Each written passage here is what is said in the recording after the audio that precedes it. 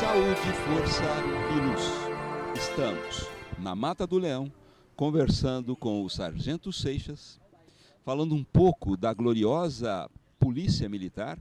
Né? Esse programa tem a ideia de homenagear as pessoas que fazem muito por Sertãozinho. É por isso que você está aqui. Muito né? obrigado. Você é conhecido aqui e no seu nome eu quero e nós queremos, eu, o Jota, a Mata do Leão, o Colégio Quarupi, né, elogiar né, a nossa gloriosa Polícia Militar.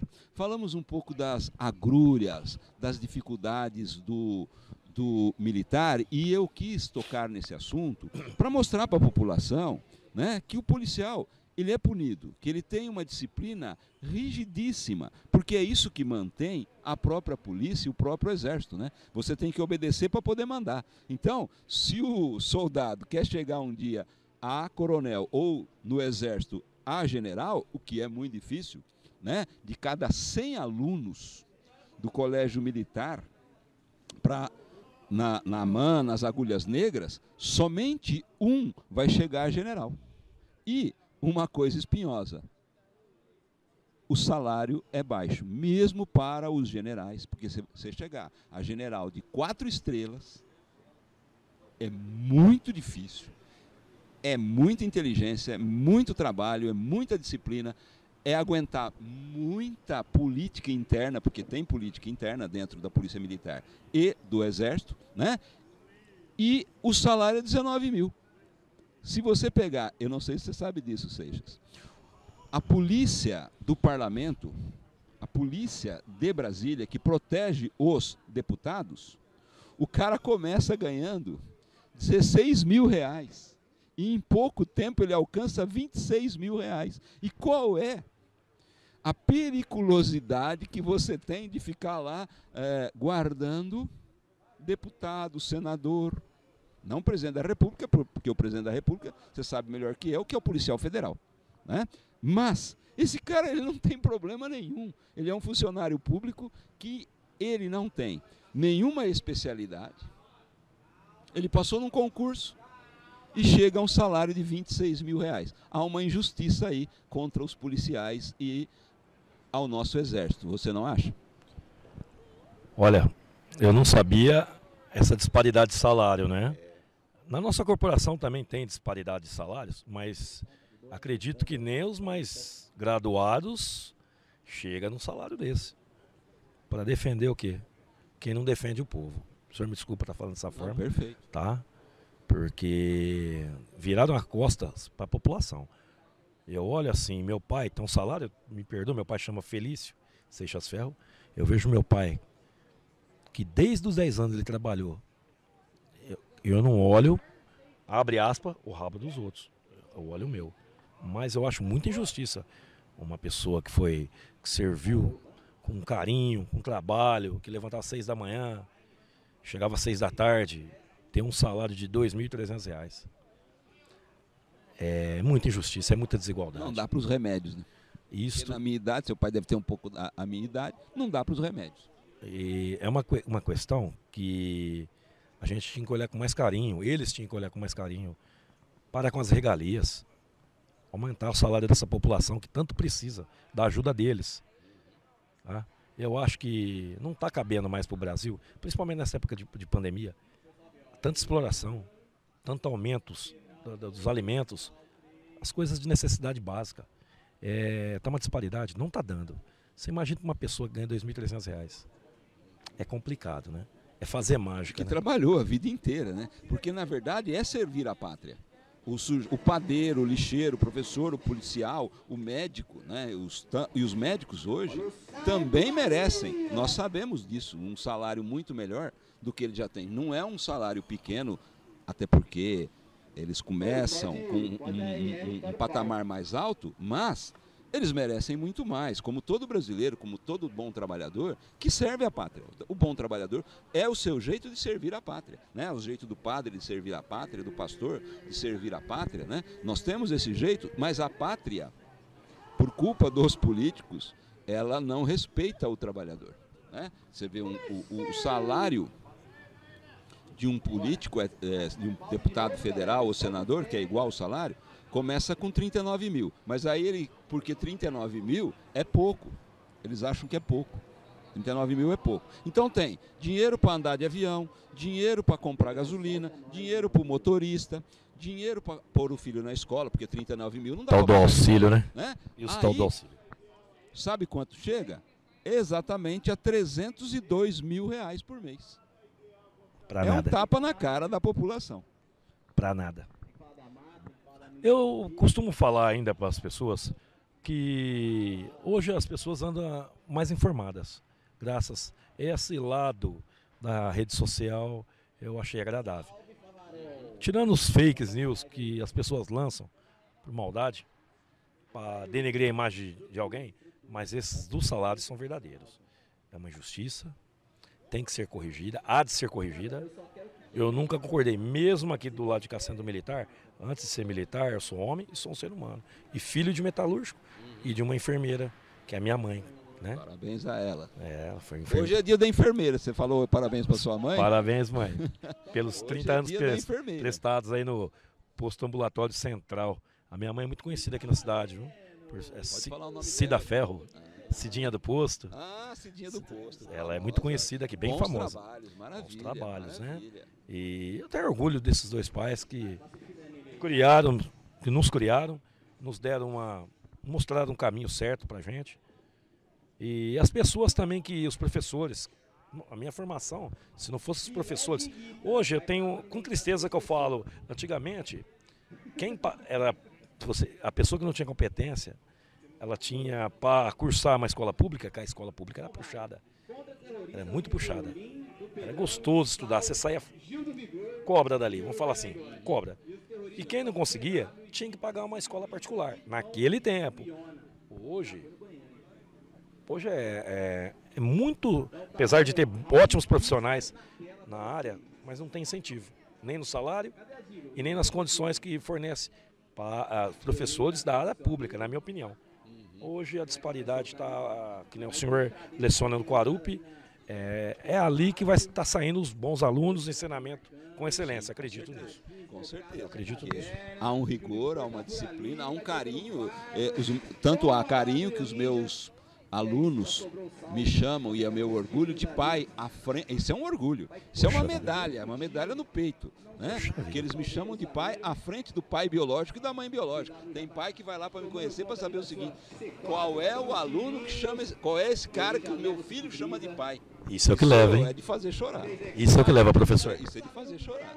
Né? Isso é o que leva. né? Então a gente tem uma disciplina, tem um carinho, tem todo um estudo, você sabe. Eu e o Seixas, vou repetir, nós somos amigos. O Seixas é um cara que discute a história, a política desse país, que tem ideias para esse país. Ele, né? Ele ouve música e o grande Raul Seixas nós já discutimos, já discutimos música, Grande Raul. discutimos política. É um homem que tem opinião, opinião forte como deve ter, né? Não é um alienado, sabe do que está falando. Graças a Deus não. E- e você percebe que teve um bom estudo, que teve uma boa formação, que sabe o que está fazendo, que honra né, a farda. Ele está aposentado, mas ele honra a farda até hoje, eu tenho certeza. né? Amo, amo, amo a polícia militar. chama os irmãos de farda, que a polícia não vai sair de você nunca, graças a Deus. Né? E nem você da polícia. Né?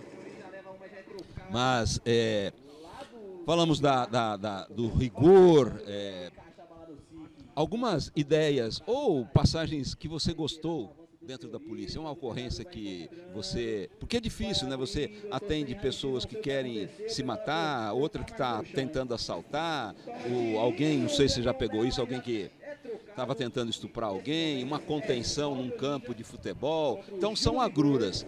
Mas e, umas, e uma recordação boa eh, de uma ocorrência? Tem? Ou foi só um momento difícil? São várias ocorrências. São várias ocorrências. E devido ao lapso de tempo, né? Que eu me aposentei em 2019, né?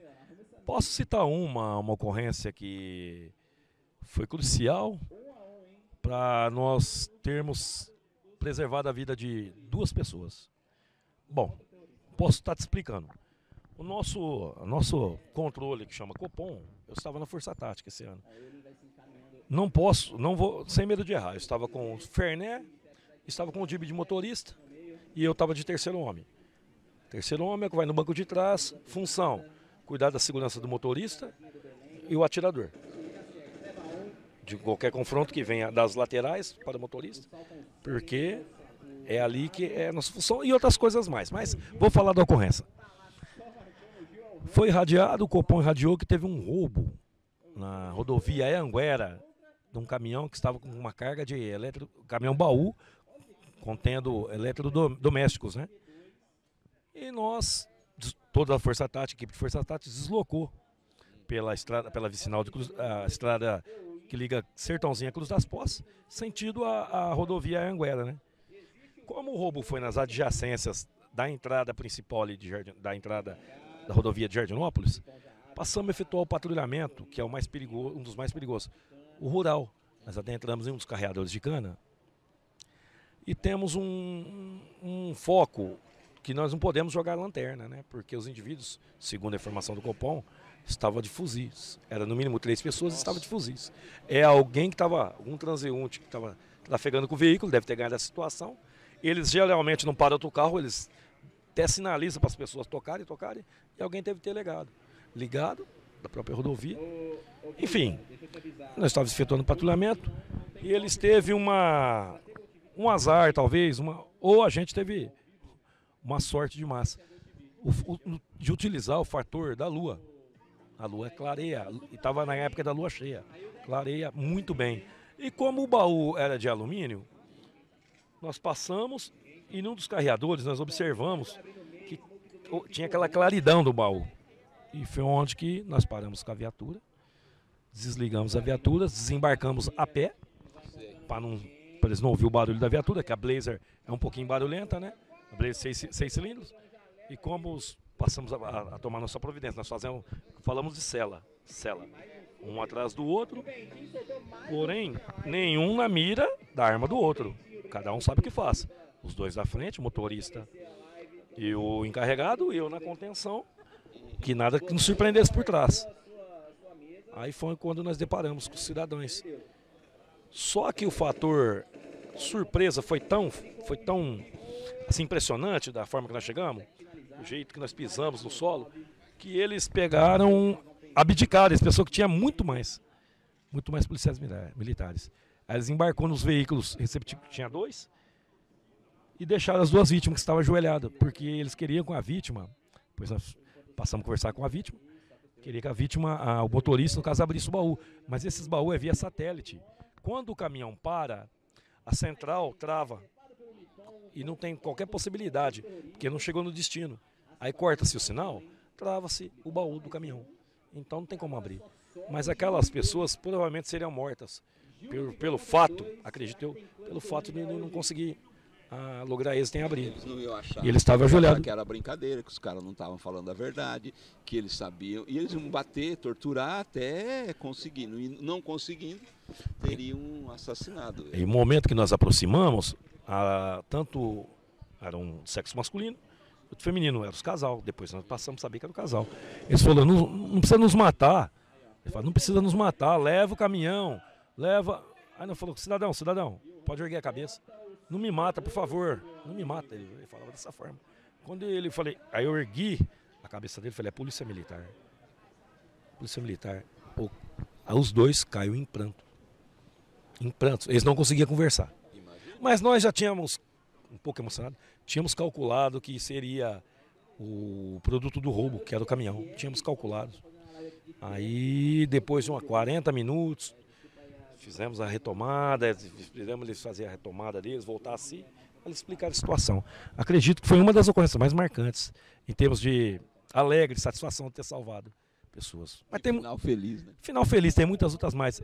É, só para não falar, não estou falando do, do que continha. Eu sei que o valor, o valor que tinha em nota daquele caminhão, é, só estou falando do valor dos eletrodomésticos. Na época era um milhão. Um milhão recuperado. Fora o caminhão, né? o cavalo e o baú. Satisfeito por uma daquelas, foi uma das ocorrências. Se eu puder citar também o nome de uma pessoa, pode, pode, que é muito importante que eu vou falar para o senhor, eu tenho um parceiro que provavelmente ele deve estar trabalhando em Olímpia e foi um excelente policial aqui na cidade de Sertãozinho. ele foi um parceiro que me completou. Parecia que nós é, era, era um só. Só de eu observar, ele já sabia o que, que eu queria, em termos para abordar. Eu só de saber o movimento que ele fazia, aumentar um pouco a velocidade da viatura, eu já sabia o que ele ia fazer. Chama-se, hoje é Araújo, Cabo Araújo. Foi um dos os melhores policiais que trabalhou comigo, comigo. E como comandante de, de, de grupamento ali da gente, de, o sargento Matias, um grande policial, foi muito injustiçado. Foi muito injustiçado pelos policiais. Quase correu o risco dele ser exonerado. Por Olha conta, só. por conta do quê? Quando o senhor começa a brilhar muito, brilhar mais que muita gente, essas pessoas que não têm capacidade, ela tenta te queimar de uma outra forma. E na polícia militar isso é fácil fazer. Principalmente se for uma pessoa, como que eu posso falar, super, um superior hierárquico seu. Eu, o Sargento Matias, eu, Gustavo Ferné, Margato, o Éder, Araújo, fomos injustiçados. Fomos a, afastados do serviço de patrulhamento preventivo por conta da gente estar destacando. Porque era uma época que ocorria muitos homicídios e tinha mais policiais, policiais da co-irmã, da co-irmã, que não estava recebendo o dízimo. Então, eles iam receber o dízimo, mas a polícia militar tá fora, hein? Ia receber o dízimo, então, esse, graças a Deus, esses elementos foram expulsos. São sempre, né?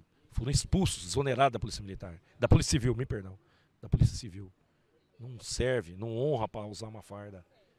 O serviço da Polícia Militar, ele é mais profundo. E passamos a sofrer ameaças, além de ter a pressão dos próprios policiais, que até ontem chegaram ontem, em Sertãozinho para trabalhar. Alguns falavam assim, você vai comandar uma equipe que é do Peru, hein? E a gente só trabalhava. Fomos, graças a Deus, provamos a nossa inocência na corregedoria. Não tinha nada de grupo de extermínio. Enfim, esses mal policiais aí da co-irmã foram, mandados, mandados embora e sabe que fizeram errado. Tem que aceitar que fizeram errado. E hoje estão sozinhos. E nós aqui, mesmo do lado de fora, ainda somos unidos. Tá? Se lá dentro nós éramos unidos, aqui fora é um pelo outro. Aquela equipe que nós tinha era uma excelente equipe para Sertãozinho. E tem mais uma coisa que eu gostaria só de citar, que eu vou tomar um pouquinho de tempo do programa. Sertãozinho tem uma deficiência em termos de bons policiais. Eu vou falar para o senhor por quê. Um policial militar, ele vem geralmente, sertãozinho, ele serviu de trampolim para policial. O policial está lá em São Paulo, está em São Caetano, está em Capão Redondo. Ele quer vir para o interior, ele é do interior, ele quer vir para o interior. E geralmente eles optam para vir, a via mais rápida que tem é o 43º Batalhão. Mas isso não é por conta do nosso comandante que está aí não. O Coronel Teles foi o que me treinou na época, ele era tenente. Excelente profissional, Vida longa a ele. Abraço a ele, saúde a ele. Uma excelente pessoa, caráter ímpar. Mas eu acho que a política, não a política, a política, a política interna do da nosso, nosso batalhão devia ser um pouquinho mudada. Tinha que ter algum atrativo o bom policial permanecer aqui. Vou te explicar. O policial, eu acho que no meu caso, eu já nasci policial. Eu acho que só parou algumas arestas. Eu já nasci policial. E tem vários que são da mesma estirpe da minha pessoa. Teve várias pessoas que veio trabalhar aqui, como foi esse o Araújo. Só que o que, que ele ganha? Ele pode estar trabalhar perto da casa dele. Ele tem que trabalhar em sertãozinho. É cansativo você pegar ônibus, pegar carona. Sim, sim, já vi muitos. Vem, então, na, é. vem no, no ônibus, vem, vem pede carona na estrada, que é um perigo. É um perigo. O senhor vê que a pessoa quer continuar trabalhando aqui. Então, tem uma. A pessoa tem que exercer pelo menos dois anos quando ele pede uma transferência para Sertãozinho, no caso, que é o 43 Batalhão. Ele fica dois anos aqui e já se inscreve na fila de transferência. Perdemos muitos, muito, volta a falar, bons policiais que trabalharam aqui em Sertãozinho por conta disso. Eu vou te contar uma. Não quero, não estou falando que a prefeitura tem que fazer isso ou aquilo. Uma forma de dar um incentivo. Não é propina, é uma forma legal. Chama-se Prolabore. Chama Prolabore. Isso existe em Pontal. Muitos policiais militares bons que estavam até pretendendo sair de Pontal. Pontal também é uma cidade A gente, quem controla lá é a Polícia Militar, já estou falando para o senhor, que é uma bomba relógio também. E o que, que, que, teve que acontecer? O prefeito, até então, que chamava Carneiro em Pontal, fez uma reunião com a gente e falou: não quero mais essa mudança de policiais que está aqui, eu estou satisfeito com vocês. Como que eu faço para segurar? Aí eu não sei qual foram os trâmites. Aí ele fez essa concessão do Prolabore. Esses policiais que estavam cancelaram todos a transferência para trabalhar em outro município. E deu certo lá. Hoje Pontal, pelo perigo que é? Sim. Hoje a Pontal está bem controlada, Não, graças aos policiais. Falar, se ouvia falar muitíssimo mal de Pontal, a coisa tá serenou, acalmou, pelo menos para os meus ouvidos. A, a, pessoa que vai trabalhar em Pontal, é, até eu trabalhei lá também, exerci, assusta. Mas é, é, eu não acho um serviço difícil trabalhar em Pontal. Você consegue distinguir é, rápido quem são as pessoas de bem e quem não são as pessoas de bem. É, é fácil discernimento. Então eu achei uma pessoa, uma cidade que também me acolheu muito bem. A população de bem não sabe o que faz para a polícia militar lá. Eles não sabem de tão tem que ser agradecido, porque a coisa está acalmando, a fervura está baixando. Né? A ponto de que um dos grandes empresários de Pontal chegaram, que eu, eu ofereci a ideia de criar-se uma força tática de Pontal. Uma força tática de Pontal.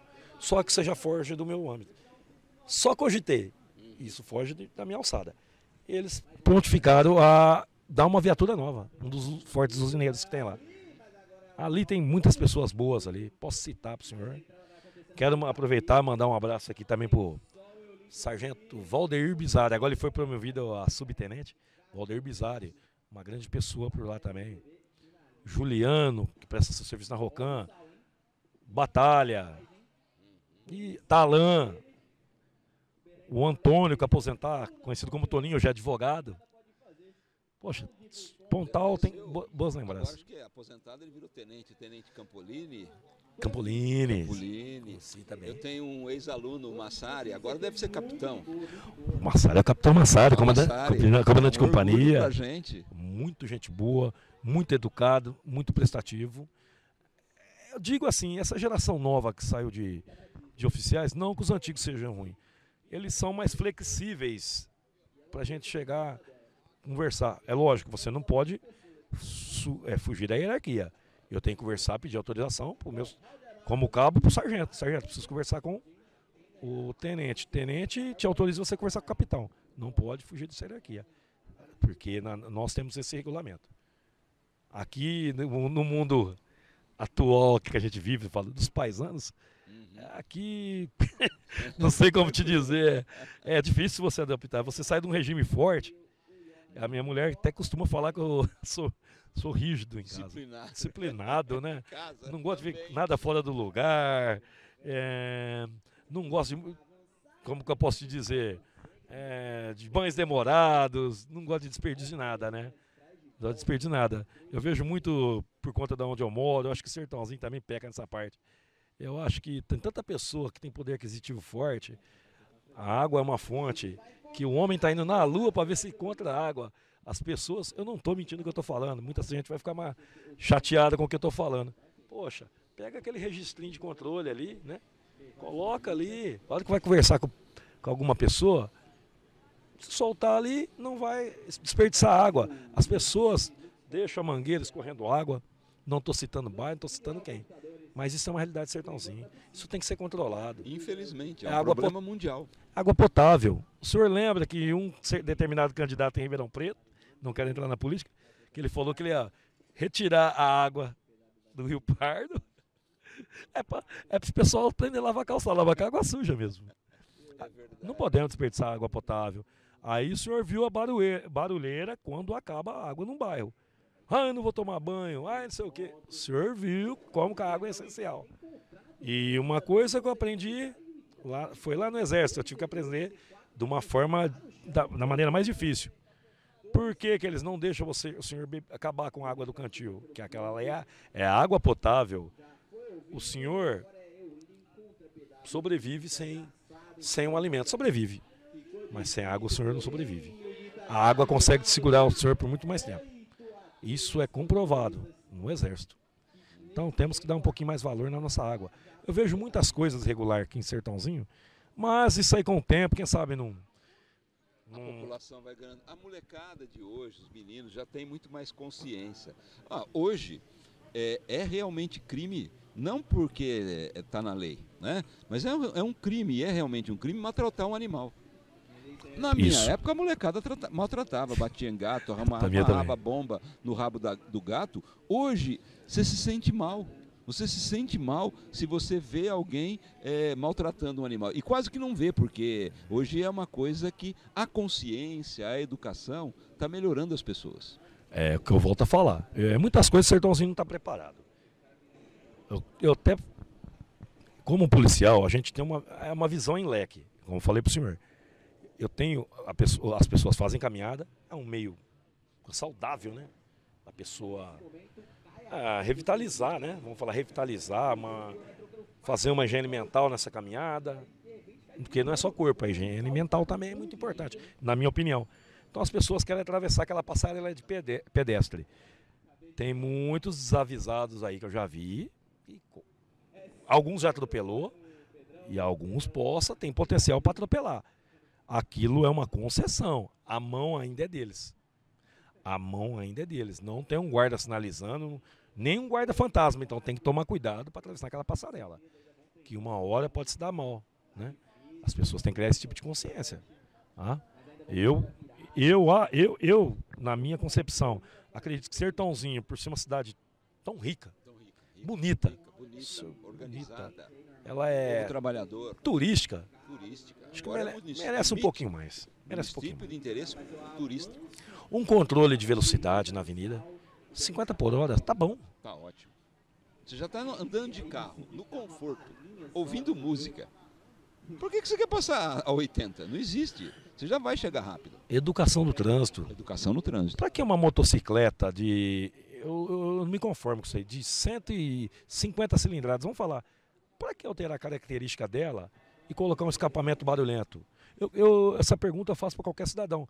Para que colocar um escapamento barulhento numa motocicleta? Eu não, não, não entendi o porquê até hoje.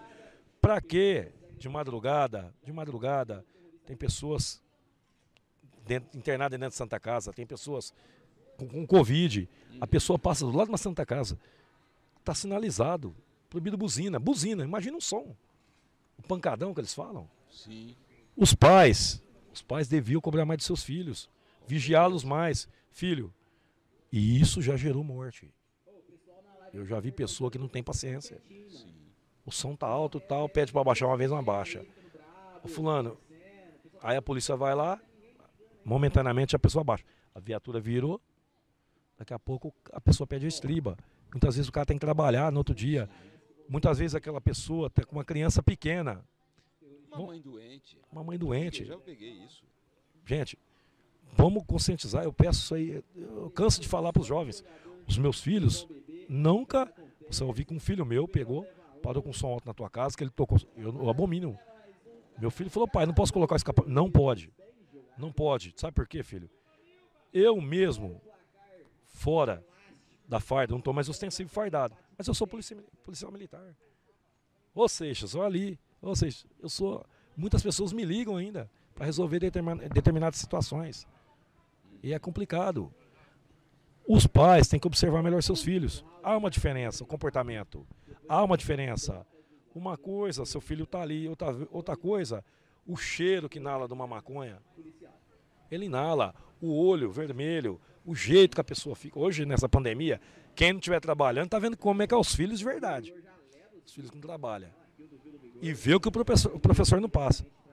E quantas pessoas já vi reclamando de filho por conta disso? Eu não sabia que você era assim, não sabia que meu filho era assim. É complicado. Começa assim. E tem mãe que acha bonito. Acha. Protege, infelizmente. Protege o errado. O custo é para ela. No final, o problema sim. virá mais tarde. Isso é óbvio, vem no mundo inteiro, não é só aqui no Brasil. Né? O custo vem depois numa criança e vou chamar de criança de 30, 40 anos que não quer trabalhar, que não quer estudar, que não quer sair de casa, que acha que o pai e a mãe é obrigado a sustentá-lo. Ele não está preparado, ele não foi preparado.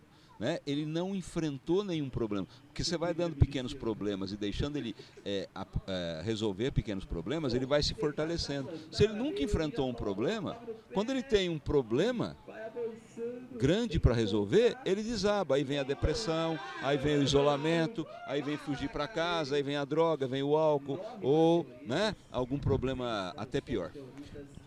Ocorre com frequência. Atendi muitas ocorrências que veio se agravar por conta de, de, na infância, na adolescência, enfim. Eu já vi crianças, um vem, vem dentro de rede de supermercado muito forte aqui, eu vi uma criança, acredito de 3, 4 anos, dando de costa na mãe, tapa. Eu quero aquilo, eu quero aquilo, batendo de frente de costa, de frente de costa. Filha, mam... gente, não é assim que funciona. Não é assim que funciona. Não fica só agradando, tem que ensinar o não pai é pai, né? A criança, senhor Gídio, é muito importante que eu vou falar para o senhor. A criança, o senhor tem que pôr, a senhora também tem que pôr limites. Não está criando um cidadão. Me desculpa a palavra que eu falar, pejorativa. Está criando-se um monstrinho ou um monstro. Vai encontrar uma pessoa que ele vai fazer a mesma coisa com essa pessoa e vai encontrar. E vai encontrar. Uma hora encontra. Então, mesmo que a criança chorar, mesmo que espernear, ela tem que ter um castigo. Um castigo, né? De acordo, dentro, dentro das limitações. Nada, não, Se é for para dar uma palmadinha, não, no bumbum, no bumbum, conversar, não resolveu? Corta. Ah, eu quero chocolate, corta. É assim você vai limitando e vai ajudando a formar um cidadão. Eu não sou dono da verdade, não quero ser. Que Jesus Cristo veio pregar aqui, a verdade, e o senhor viu o que aconteceu, apedrejaram. Mas, até que me prove ao contrário, acredito que essa forma funciona. É isso que eu quero dizer. É... Tem mais uma, uma situação. Eu sou muito coração, né? Eu vim da base da metalúrgica. A gente tem também a parte que é, a gente tem tô muito coração também. Qual que é a graça? Isso serve para os co-irmãos também. Qual que é a graça você pegar um cidadão de bem e você efetuar uma autuação de pneu careca? Você efetuar uma multa, eu já vi. Multa por licenciamento do veículo está vencido. Pergunto ao senhor, essa é a maior oportunidade, na minha opinião, de trazer o cidadão de bem para o nosso lado, que a maioria da minha corporação quer. Que a maioria da corporação minha, pelo menos metade que mora em Sertãozinho, acredito. Pelo menos quando eu trabalhava era assim. Orienta o cidadão, o seu licenciamento está vencido. O senhor não pode mais trafegar com esse cidadão. Se o senhor tirar o veículo daquele cidadão, ele não licenciou porque ele não tem dinheiro.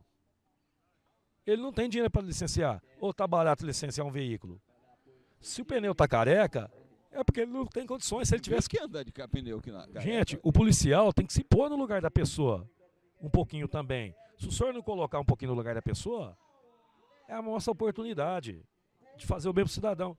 Ah, mas acidente de trânsito, vítima leve não temos efetivo em Sertãozinho e não temos efetivo em outros lugares.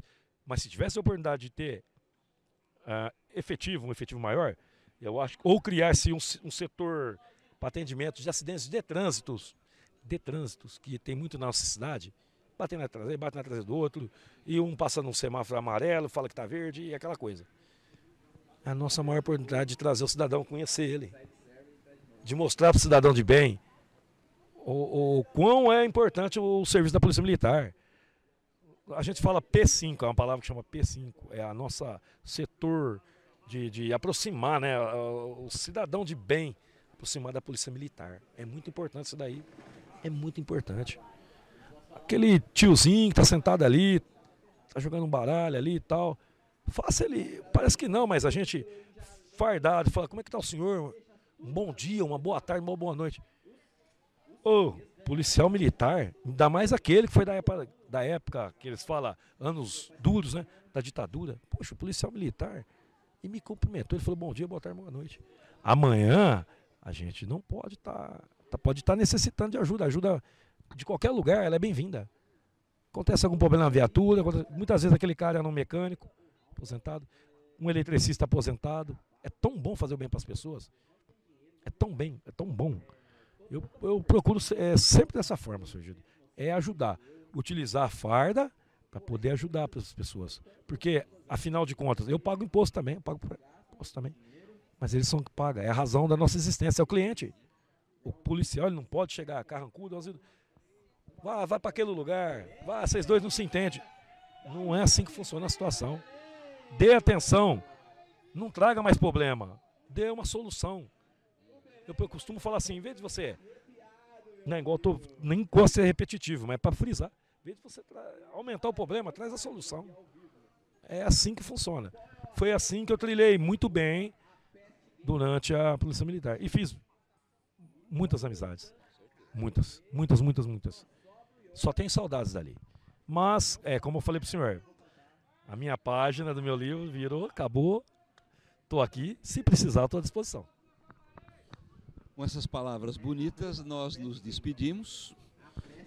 Passar um tempinho, a gente volta a conversar com o Sargento Seixas. Muito obrigado e obrigado Exponha. a você. Até logo. Até mais.